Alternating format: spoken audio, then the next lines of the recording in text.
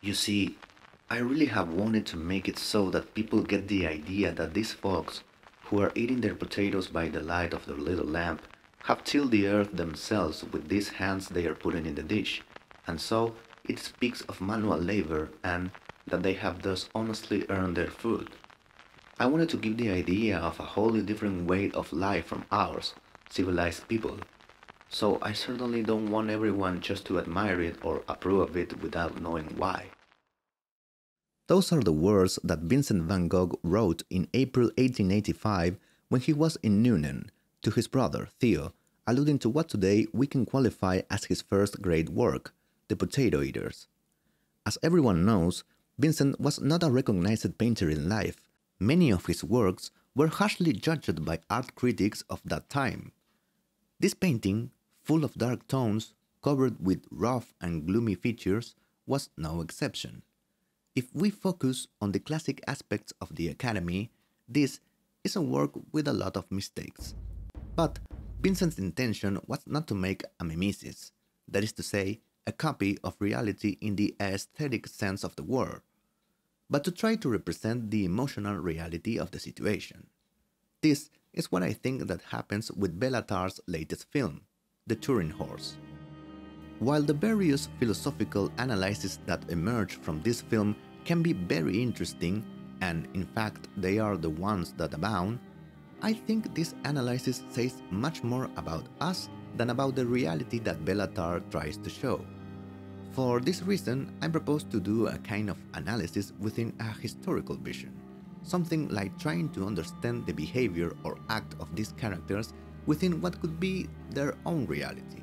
However, before concluding, I will also make a brief comment related to the philosophical aspect of the film. Despite the fact that Béla Tarr prefers not to give his films a specific time, the connection with the anecdote about Nietzsche and the horse forces us to place towards the end of the 19th century. Although we could establish some points about the geographical space and the context in which Vincent painted his peasants, I'm actually just gonna keep the parallelism with what we can directly watch on his work. Besides, this video it's more about Italy and the movie I'm talking about. It is rather the central theme in Vincent's painting and one of the protagonists of Tarr's film with which I would like to start. I'm talking about potatoes.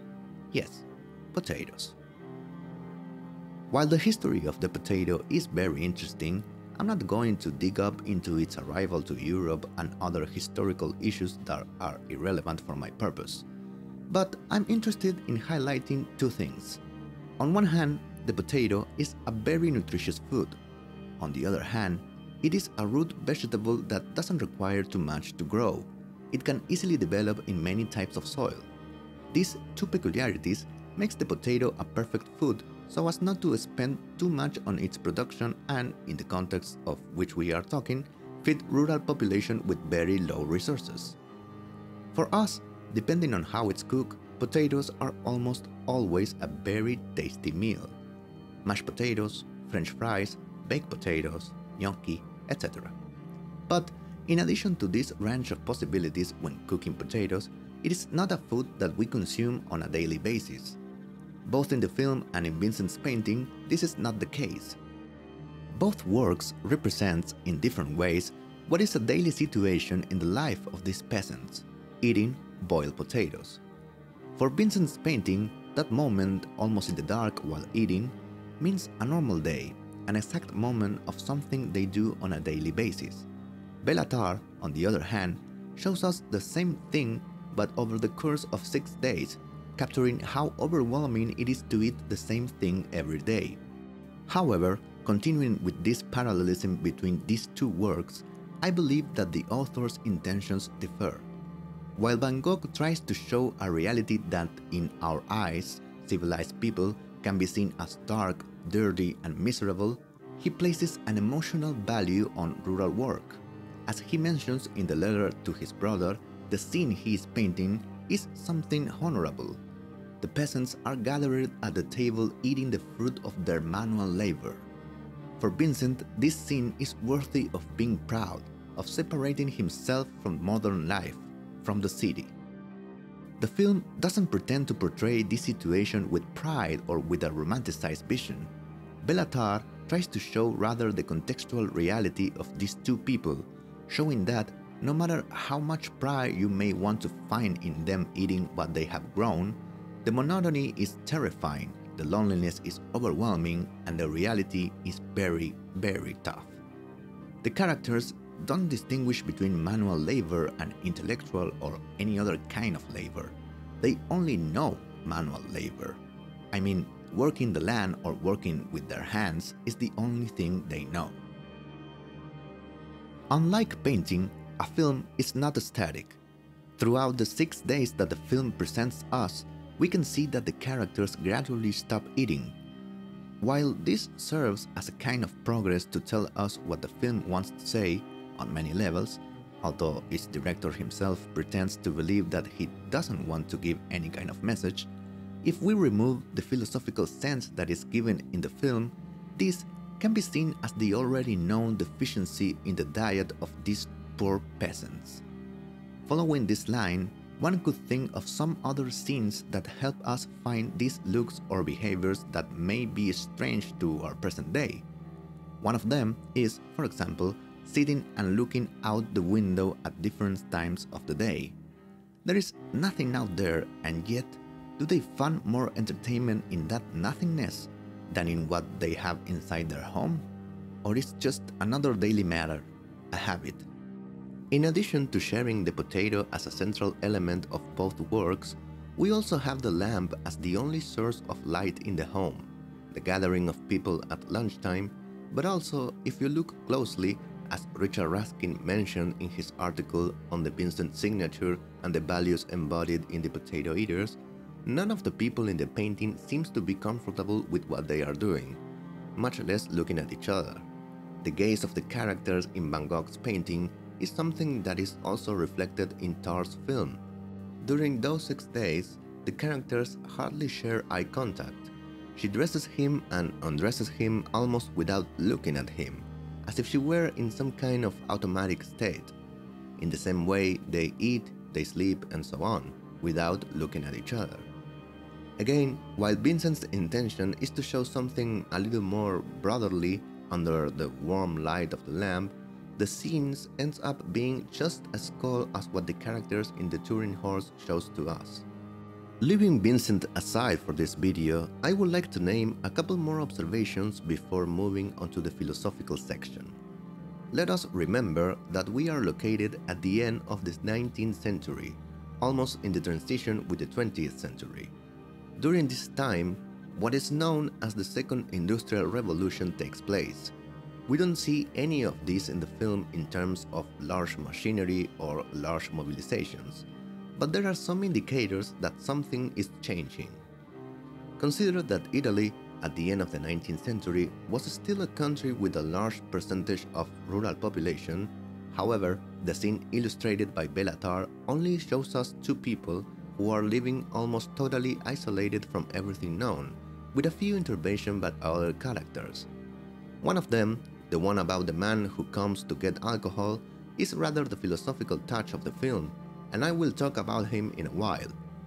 But the second involves a group of very noisy gypsies who come to ask for some water.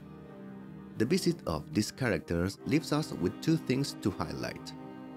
In the middle of the intervention of these people, when her daughter runs to throw them out of their property, one of the gypsies invites her to go with them to America.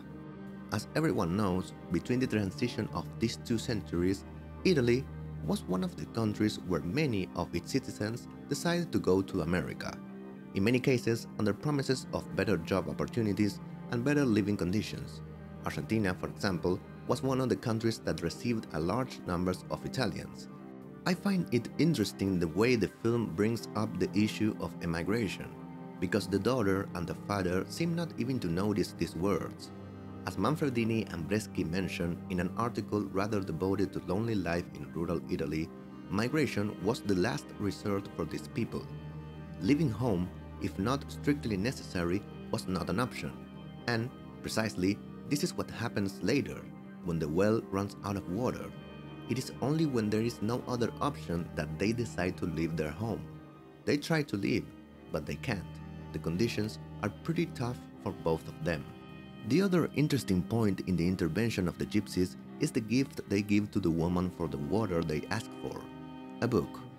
While this book opens up more of a philosophical or religious debate, this is not what I'm interested in discussing.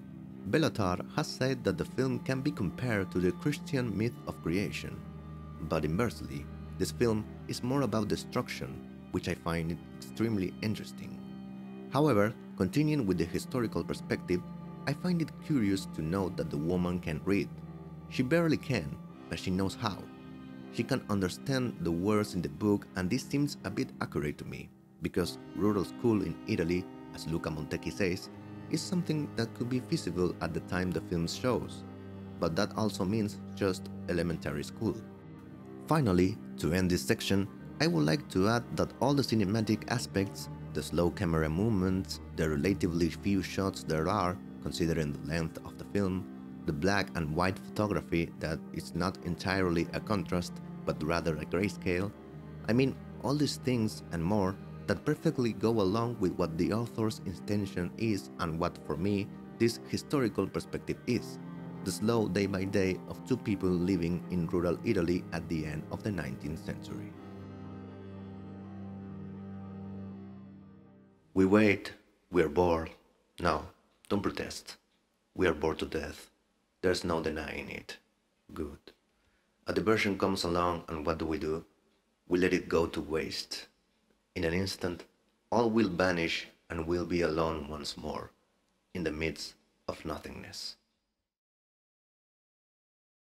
There are many philosophical analyses of this film all over the internet. I don't pretend to say much more than they do, so I'll try to keep this part much shorter than the previous one. There is an obvious connection to Nietzsche's philosophy in this film, apart from the anecdote at the beginning.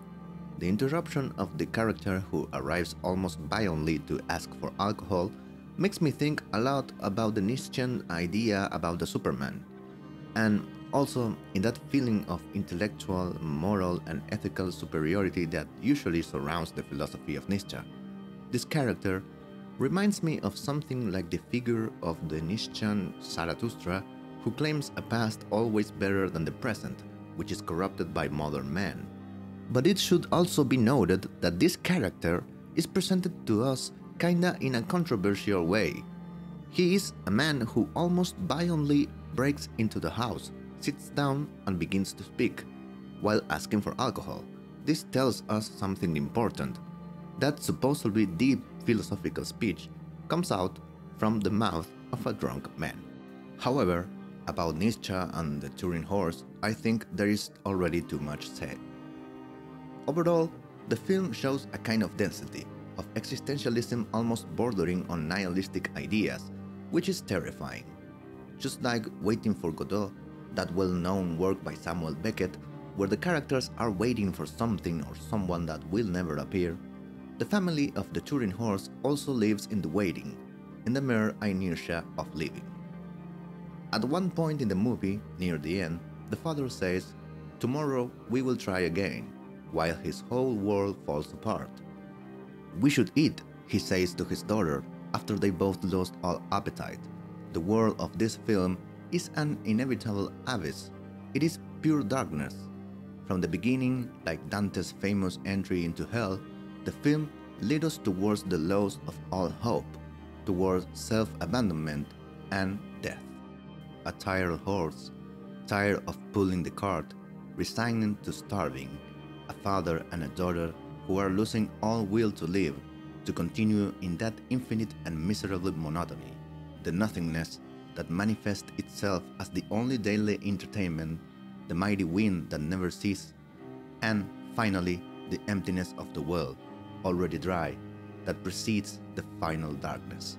This last element is nothing more than the prelude to the logically inexplicable absence of light towards the end.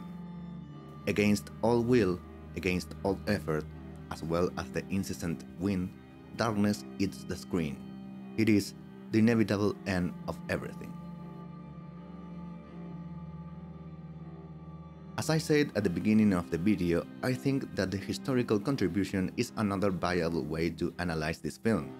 The philosophical perspective, which is extremely interesting, seems to me to say more about us than about what the film tries to represent.